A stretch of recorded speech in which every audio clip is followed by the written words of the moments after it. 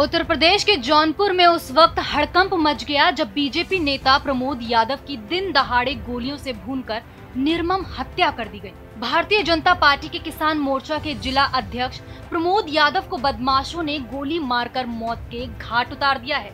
मिली जानकारी के मुताबिक अज्ञात बदमाश वारदात को अंजाम देने के बाद अपनी बाइक छोड़ मौके से फरार हो गए।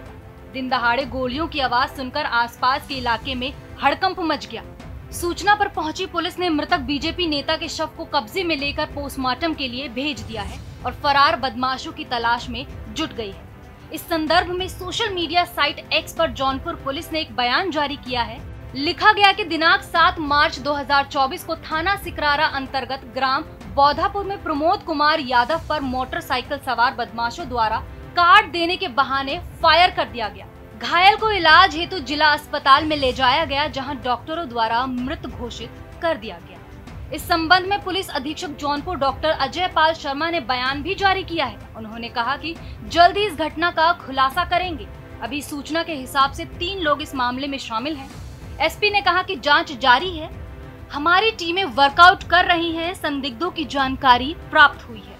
करारा के ओधापुर गाँव में ये घटना की सूचना प्राप्त हुई थी कि प्रमोद यादव जिनको कुछ बदमाशों द्वारा रोक करके कुछ कार्ड देने के बहाने बातचीत करने की कोशिश की गई और उसी दौरान उन पर फायर किया गया, जिसमें हॉस्पिटल आते आते उनको यहाँ पे डेथ डिक्लेयर किया गया है।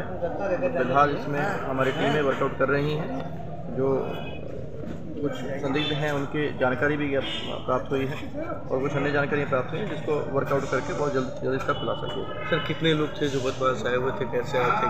अभी सूचना के हिसाब से तीन लोग थे। दो एक जगह थे और एक अलग से था। तो फ़िलहाल प्राइमरी सूचना यही है। प्रमोद यादव ने साल 2012 में जेल गए धनंजय सिंह की पत्नी जागृति सिंह के खिलाफ जौनपुर की मलहनी सीट से विधानसभा चुनाव लड़ा था। बता दें इस सीट पर सपा पार्टी के टिकट पर पारस नाथ ने जीत हासिल की थी। वहीं जागृति सिंह दूसरे पायदान पर रही थी। Bureau report Bharat express UP.